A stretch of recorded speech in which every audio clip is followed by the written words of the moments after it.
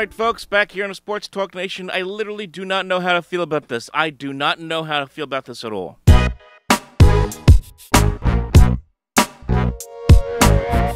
Justin Verlander has signed a two year contract with the New York Mets worth $86 million. He's going to get paid $43.3 million each of these next two years, and there is a vesting option for a third year, which means he could end up being with the Mets through 2025. That would take him to his age 43 season. I have mixed feelings about this. I, I really have mixed feelings about this because, on one hand, you have a situation where Jacob deGrom left this team. He didn't want to be here. He cl- clearly wanted to move on with his career and go somewhere else. Whether he was just tired of pitching in New York, tired of pitching on a team, uh, uh, pitching in a situation where he would pitch great, didn't get a lot of run support, or just wanted a quieter existence down Texas, whatever it may be, he is out of the picture. And the Mets, of course, giving him, offering him a three-year, $120 million contract, he decided to take less in Texas. But the Mets then turn around, feeling the need to go out there and get a big name, go out there and get Verlander to team up with Max Scherzer, of course, the two guys who were teammates back in Detroit from 2010 to 2014.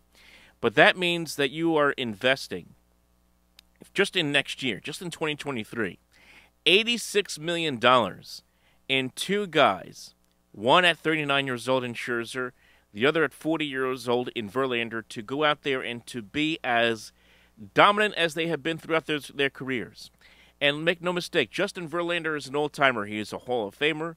He is a three time Cy Young Award winner. He's won a couple of World Series with the Astros. He's an MVP winner. He is uh, he was at the start of his career Rookie of the Year. He has done it all. Done it all. All time great.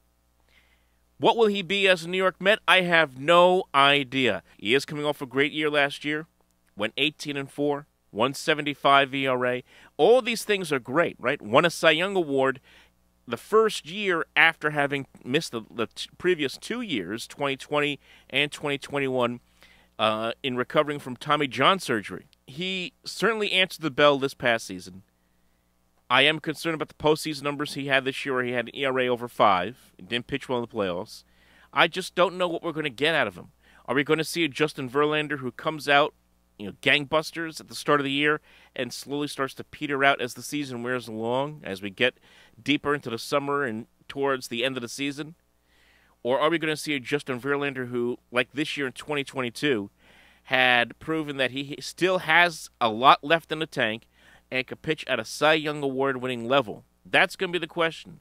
If we get the Justin Verlander that we know is a Hall of Famer, the Mets are going to be a good are going to have a good season this year and are going to be a playoff team again. If he struggles and starts to show signs of his wear and tear of his age, it's going to be a frustrating situation. It really will be. So I, I don't know how to really feel about this. Obviously, the Mets are not done.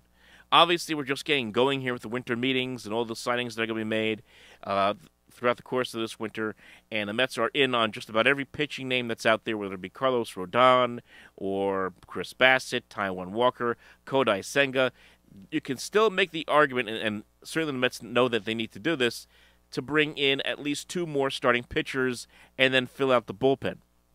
This is not a finished product by any stretch of the imagination. And certainly Verlander brings a lot of credibility.